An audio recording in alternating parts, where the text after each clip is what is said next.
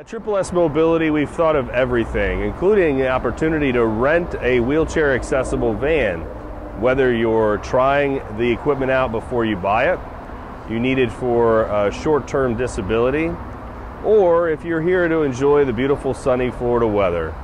Anywhere in, Tampa, in the Tampa Bay area, we can pick you up and drop you off.